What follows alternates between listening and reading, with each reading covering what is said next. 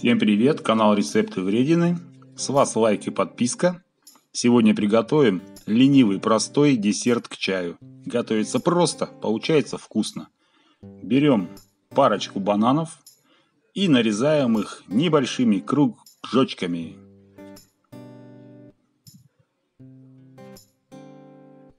Ам, это мы съедим.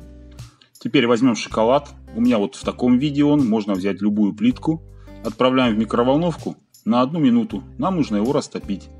Все, шоколад у нас растопился. Вот такой у нас жиденький получился. Буквально минута в микроволновке. Теперь берем лаваш или тортилью, как у меня. Делим мысленно ее пополам. Находим центр визуально так. И делаем небольшой надрез до середины. Можно, конечно, сложить ее в 4 раза, надрезать. Ну, пойдет и так.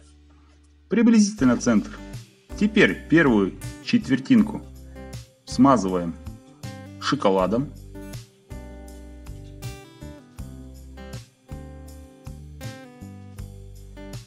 Готово.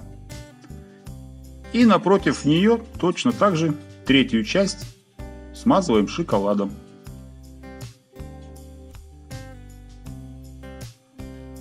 Между ними выкладываем банан.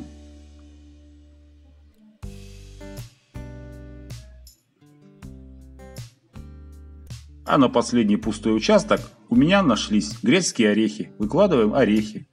Можно использовать фундук любые, которые орехи вам нравятся. Немного их измельчите и все.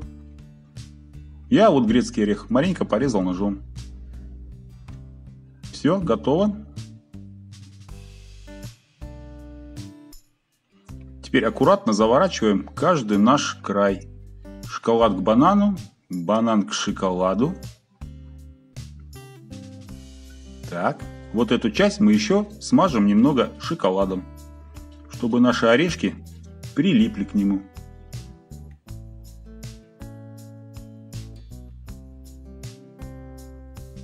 Количество ингредиентов произвольное. Кому нравится сладко, побольше шоколада, кому орехи побольше. И все, заворачиваем наш конвертик. Все, вот такой у нас конвертик получился, треугольничек. А пока его в сторонку, сделаем сейчас другие. У меня их 4 штучки получиться должно. Вот, 4 штучки получилось. Выкладываем на противень. Берем яйцо, немного его перемешаем. В принципе, можно этого и не делать. Смажем наш лавашек сверху яйцом. Это придаст ему более красивую золотистую корочку. Все, аккуратно все смазываем. Разогреваем духовку 180 градусов, можно 200. Так, присыпал я еще сверху кунжутом. Духовка разогрета 180 градусов.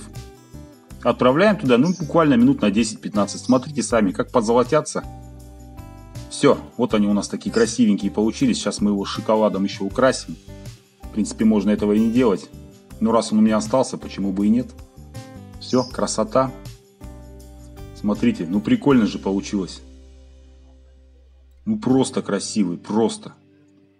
Вдобавок к этому он еще и очень-очень вкусный получился. Жалко, что сделали мало.